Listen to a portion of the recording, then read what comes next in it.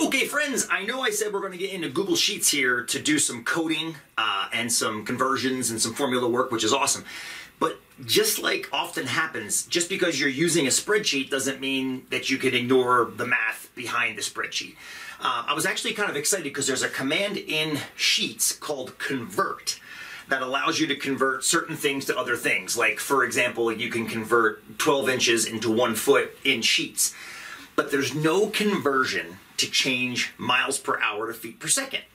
Now, you can do that in Google, not Sheets, but actually just search Google 35 miles per hour in feet per second and then press enter and it'll it'll pop it out. But in order to use Sheets to input a speed in miles per hour and have it pop out in feet per second, you actually have to know the math behind that conversion. And that's what we're going to do here to understand that math. So we know we're going to start with a speed in miles per hour. That's the unit that's going to be on a number. I'm not going to put a number here because in the spreadsheet we'll do that. We'll type a number into a cell and we'll know that that number is in miles per hour. And then in another cell down the way, it's going to pop out converted to feet per second. Our job is to figure out the math to get it from miles per hour into feet per second. And we've done these before. We've done these before. Uh, the first thing we have to do is convert miles into feet, and then we also have to convert hours into seconds. So we'll just do it sequentially.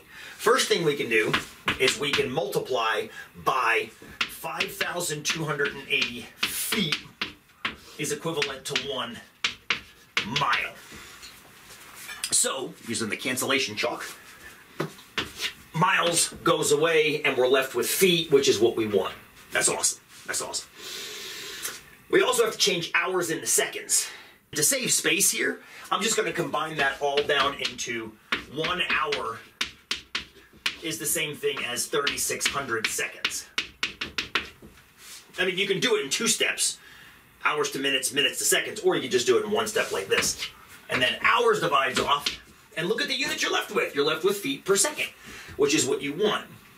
Now here's the catch. What number, what single number could we multiply by? If we had a number in miles per hour and wanted to change it to feet per second, what single number could we multiply by? Well, let's let's think about it. If this is some number times what? Well, look at the numbers that are left in the conversion. Up here, it's 1 times 5,280 times 1. That's 5,280. Over, and in the denominator, it's 1 times 1 times 3,600.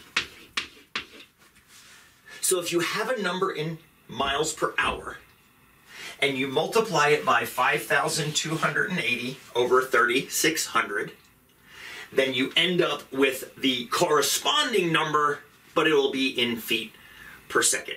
And that's the number we're going to have to use in our Google Sheet to convert a cell in miles per hour to a cell in feet per second. Let's do it. Okay, friends. So for these next few, we're going to set up a Google Sheet to actually answer the questions for us, if you want to. If you don't want to, you can always do them like you did up here, which was using these formulas above and figuring out how far it takes us to stop while we're braking. But I just started thinking, I'm like, man, this is actually a really cool place. Sheets can come in handy. So let's give it a shot. Let's give it a shot. Let's go get a blank sheet opened up. Sheets. All right. Uh, okay, let's, uh, I want to call it the two second rule. Rather than just calling it untitled spreadsheet. Two second rule. Exclamation point, because I'm feeling saucy.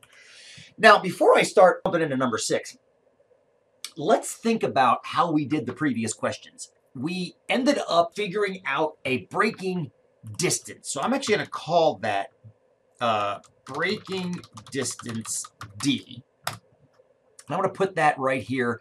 It doesn't really, again, it doesn't matter what cell you put things in. I'm, going to have the formula be right here in, in B7 on mine.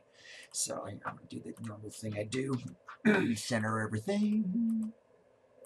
Okay, so at the end of the day, and this is not for number six, this is going to be like for number eight, I think. We're going to end up with a braking distance.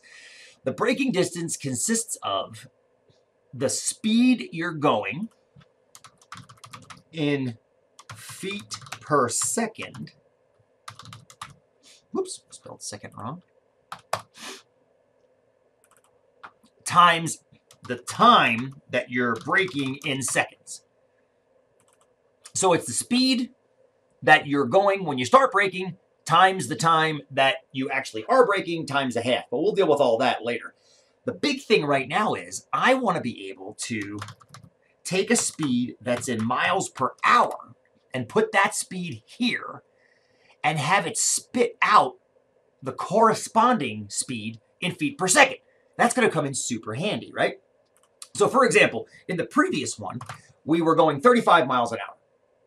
I want to take that 35 and convert it into feet per second and put it right here in this cell.